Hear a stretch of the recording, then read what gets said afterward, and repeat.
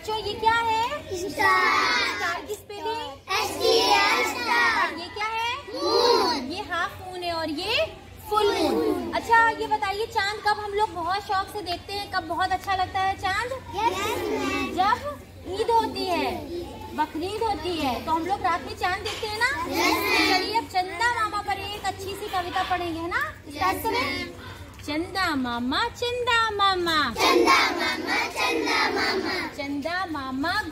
मटोल चंदा मामा गोल मटोल। कुछ तो बोल कुछ तो बोल। कुछ तो बोल कुछ तो बोल। चंदा मामा गोल मटोल। चंदा मामा गोल मटोल। कुछ तो बोल कुछ तो बोल। कुछ तो बोल कुछ तो बोल।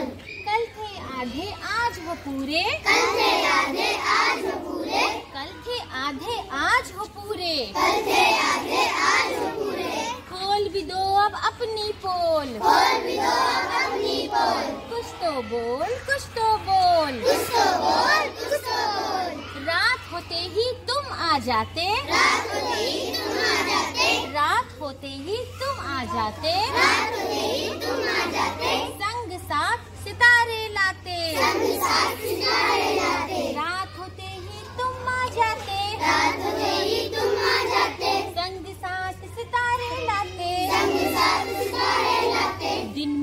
जाने कहाँ छुप जाते? दिन में न जाने कहाँ छुप जाते? कुछ तो बोल कुछ तो बोल। कुछ तो बोल कुछ तो बोल। दिन में चंदा मामा क्यों नहीं दिखाई देता है? क्योंकि दिन में सूरज की रोशनी बहुत तेज होती है। इसलिए चाँद की रोशनी कम हो जाती है। और चंदा मामा भी किससे रोशनी देता है? ये भी सूरज से ही रोशनी लेकर के चमक भी खेलता है। बात समझ में आई? वेरी गुड क्लैप करिए।